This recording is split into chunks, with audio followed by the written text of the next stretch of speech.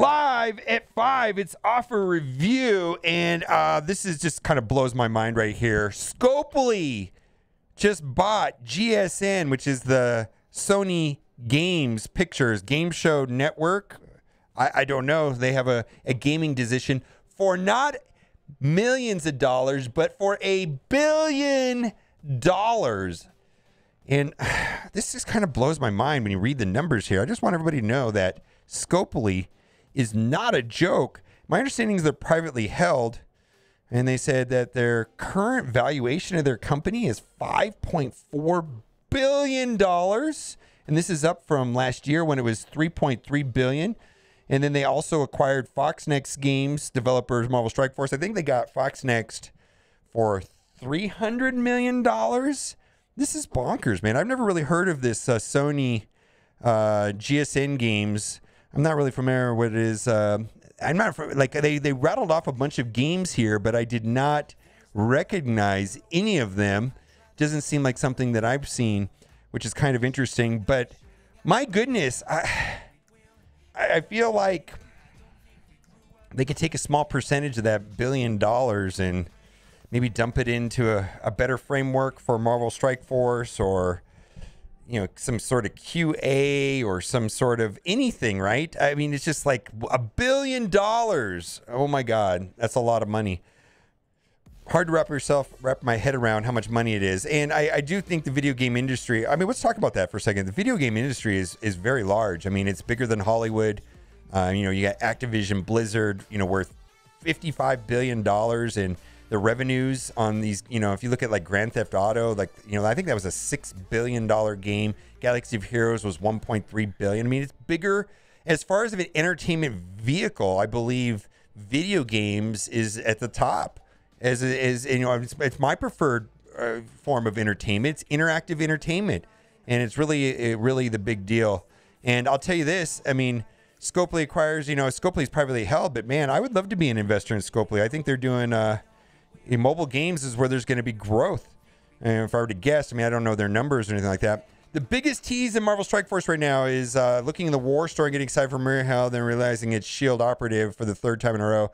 I, and and I don't think Shield Operative looks too much like Maria Hill. I mean, there were some other ones that I think are really close. You know, like X23 and Jessica Jones look really similar. Uh, also, uh, like Black Bolt and uh, uh, Bullseye look very similar. But the main point right here is Minions in the War Store. Boy, let's get them yanked out. And we're still waiting to hear where Sharon Carter is going to be. No clue. A lot of speculation on where Sharon Carter is going to end up. Tom, uh, on Wednesday, my understanding is that Captain America Sam Wilson will be going to a hard node in Doom. Uh, that was all announced on Friday. Let's go to the offers and take a look what we got there. Uh, we've got a couple different offers that uh, first thing we go to the the two we got two joke offers in my opinion. Dual honorable orb offers so these are not the the preferred way of giving silver samurai. These are the event campaign orbs. These are the orbs that have silver samurai on the shot on the sides and then a percent chance maybe 14% or something like that to give a silver samurai. So these orbs right here give an average of a little over five silver samurai shards per orb so if you've opened up, say, 16 orbs, and you can multiply that number by five, and then you should have a number of how many you should have gotten. Then you know if you're doing better than worse, better or worse, right?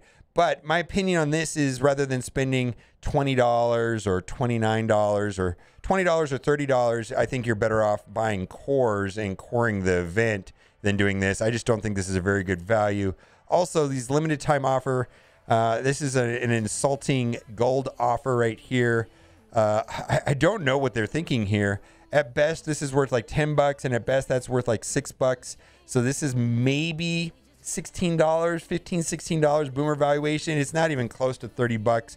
I think we're going to find better offers in the regular regular review right here. Now, tough as nails orb offer. Boy, look at those nails right there. So I did buy this to unlock Lady Deathstrike, and I'm leaning toward Skirmisher uh, as her uh, uh ISO 8 uh, because I was talking to Reminex and uh, what he was saying to me, which made a lot of sense, is that if she puts out bleeds, then her passive will lower the resistance on the opposing team.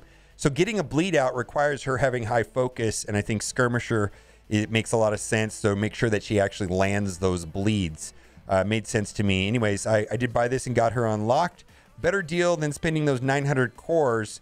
Seemed like that uh, the people that did spend all the cores didn't have a very long window before this offer came out, which is at least half as, as twice as much value than buying those cores, in my opinion.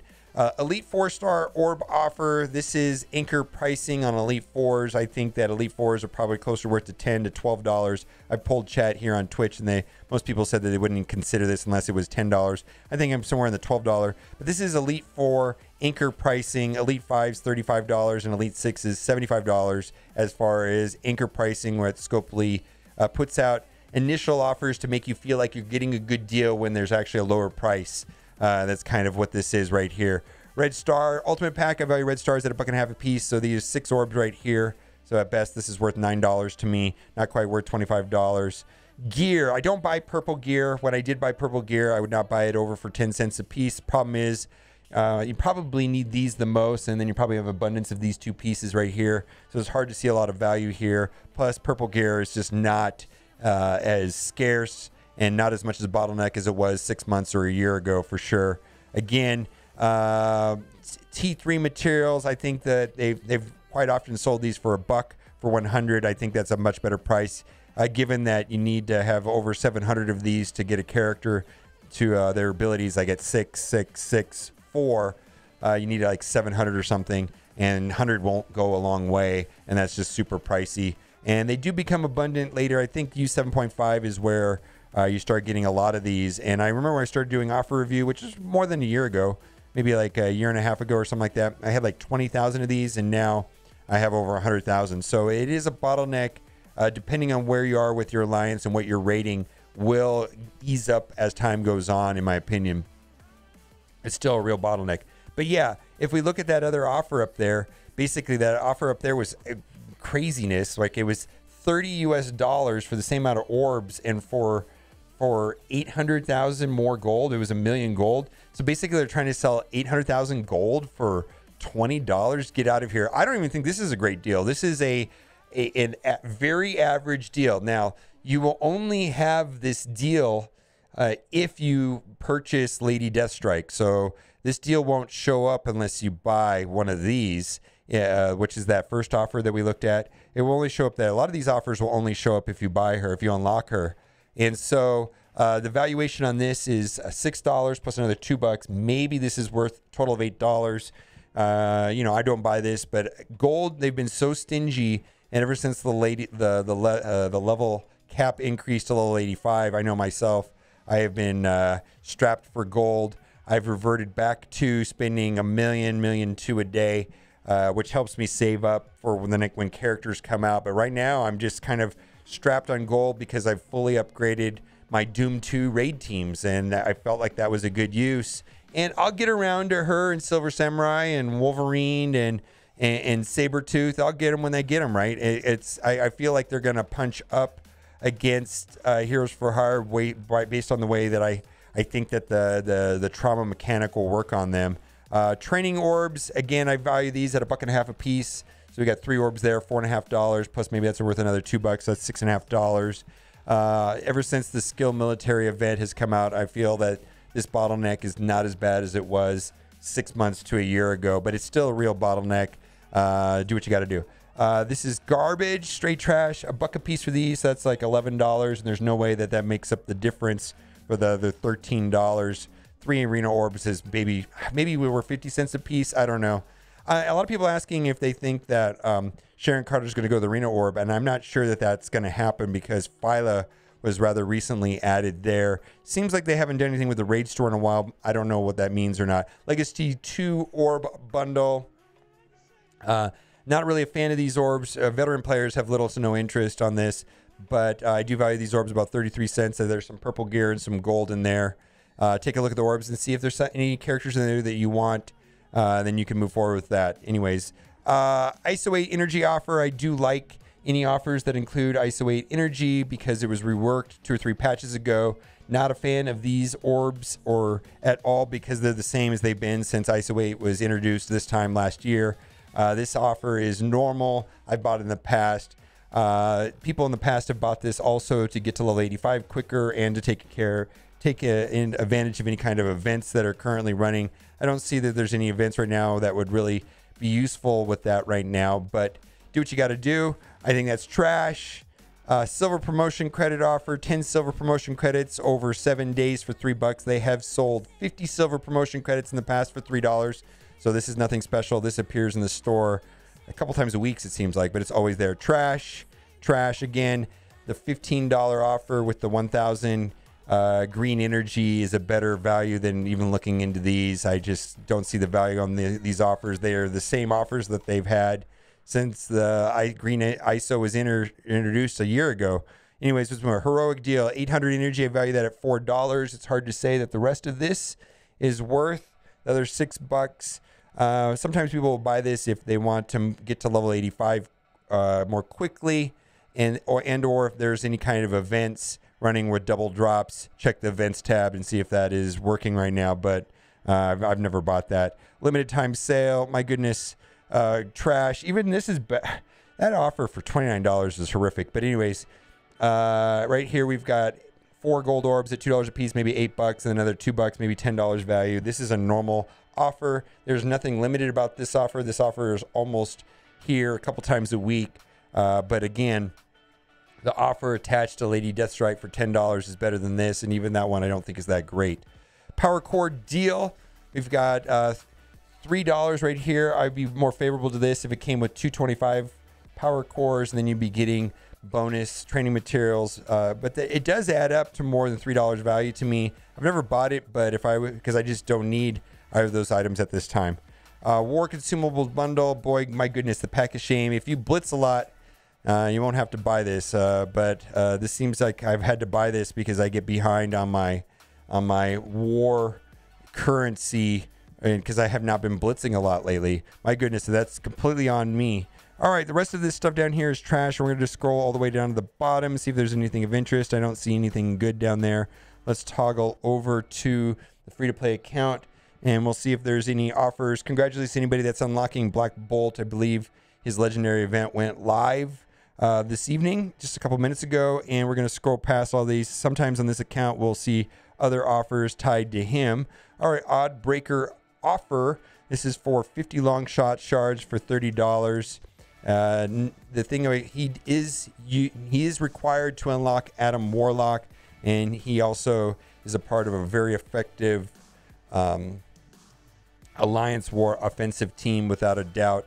Although uh, he does seem to be like a stat beast, not so much kit based in a lot of ways. Uh, so it seems like he's falling off a little bit quicker than like a character like Emma, which is a kit based character uh, it's just the way I see it playing out. Anyways, uh, X Factor does help unlock Adam Warlock, uh, but he can get him out of the War Store. So uh, I believe he's in the War Store. I can't remember. Yeah, War Store. Uh, anyway, so that's kind of a hard way of getting him. Let's move on. Gamora. Okay, okay. Let's let's just pause for a second and talk about Infinity Watch ladies, which is Gamora, Nebula, Phyla, and Moondragon. If you have a way of getting all four of those characters up and running and a fifth member, which can be any plug and play character. Uh, people use Kestrel, Silver Surfer. You could even use Star Lord because he boosts Gamora's speed and damage. Uh, but and then also maybe a character like Emma. Anyways, that's going to be an amazing arena team. And if you have the other three members of uh, Infinity Watch, and it's great without Adam Warlock, it's just an amazing arena team. Do what you got to do. But Gamora is relatively easy to get. I believe Raid Store. Uh, there's Phyla. All right, Phyla. This is pricey. 50 character shards for 35 bucks is not a great value by no means, but uh, where she she's available in what the arena orb only, so she's kind of hard to get. Uh, this has a value of about three dollars between the two, uh, but do what you got to do. Like I said, uh, getting those four members of the Infinity Watch, the Infinity Watch ladies, without Adam Warlock is an amazing team, uh, and can get you a lot of different parts of the game for sure. Uh, I'm wondering though how much of an impact Omega Red's going to have on the arena. Uh, the developers did not pitch Omega Red or Silver Samurai as a an arena viable characters. They definitely pitched them as an Apex, whatever that means, Apex uh, war team.